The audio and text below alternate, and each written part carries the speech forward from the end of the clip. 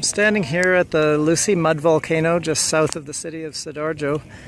Um, the Lusi Mud Volcano was triggered in 2006 after a drilling accident, and um, the Indonesian company Lapindo was drilling in the region for hydrocarbons and struck a pocket of mud uh, and weren't able to contain the mud.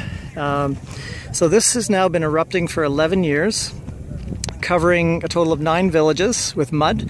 Uh, they've now built a containment dike, which is probably encompassing an area of about 30 square kilometers, um, five to six kilometers on each side of a square dike. And the mud at its deepest is now probably 10 to 15 or even 20 meters deep in some locations. Uh, you can see the steam in the background, that's the active vent, probably about 100 meters from here and every now and then you can see mud bubbling up. Um, this is the group that's on a field course right now, Geography 430C field course.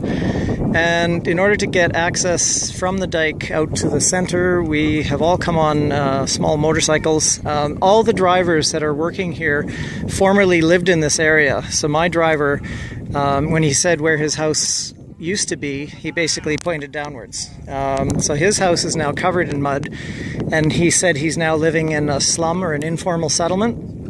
Uh, he's got eight kids, and he's working as a driver.